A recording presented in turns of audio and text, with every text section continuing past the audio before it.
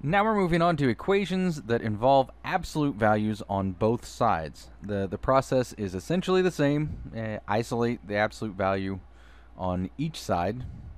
Uh, and the difference is, is that we'll set it equal to the negative and the positive of the absolute value on the right hand side. so we're starting off with the absolute value of 7x minus 3 equals the absolute value of 3x plus 7. So we have absolute values isolated on each side. So we'll go ahead and set this equal to the negative of the right-hand side and the positive of the right-hand side. So 7x minus 3 equals negative 3x plus 7. Or 7x minus 3 equals 3x plus 7. And then we solve for the variable in each instance. So we'll distribute the negative on the left-hand side. 7x minus 3 on the right-hand side of the left-hand side equals negative 3x minus 7. I'll go ahead and write my OR out here after each step. So we add 3x to both sides. That gives us 10x minus 3 equals negative 7. Add 3 to both sides. We get 10x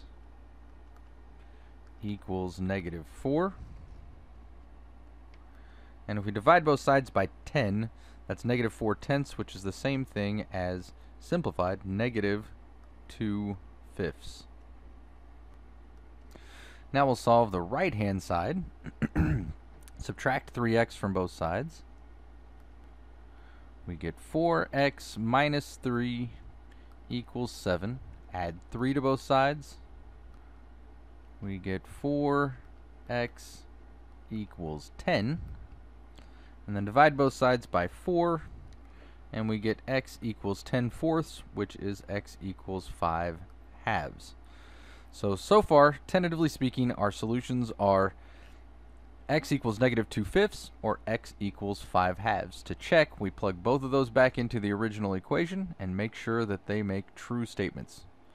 So 7 times our first solution was negative 2 fifths for x minus 3. The absolute value of 7 times negative 2 fifths minus 3, we want to know does that equal the absolute value of 3 times negative 2 fifths plus 7. So 7 times negative 2 fifths, that's negative 14 fifths minus 3, but that's the same thing as 15 fifths. Does that equal negative 6 fifths plus, that's the same, 7 is the same thing as 35 fifths. So does the absolute value of negative 14 minus 15 is negative 29 fifths. Does the absolute value of negative 29 fifths equal the absolute value of 35 minus 6 is 29 fifths. And that is verified. We have 29 fifths equals 29 fifths. So that that checks. Now let's check our 5 halves. So the absolute value of 7 times 5 halves minus 3. Does that equal the absolute value of 3 times 5 halves plus 7?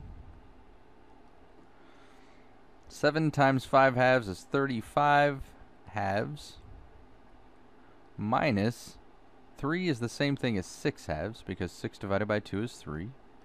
And we want to know does that equal the absolute value of 15 halves plus 7 is the same as 14 halves. So then we end up with is the absolute value of 29 halves equal the absolute value of 29 halves. And going ahead and simplifying one step further, 29 halves does equal 29 halves. So our solutions check. So the solution to solutions to the absolute value of 7x minus 3 equals the absolute value of 3x plus 7 are x equals negative 2 fifths or x equals 5 halves.